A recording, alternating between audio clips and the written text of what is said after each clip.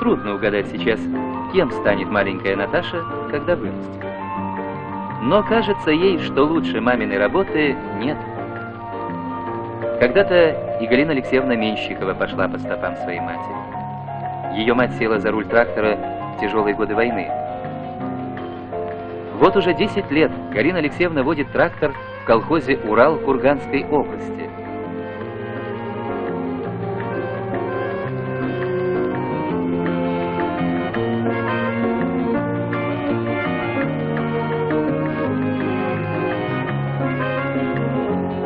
В работе впереди всех.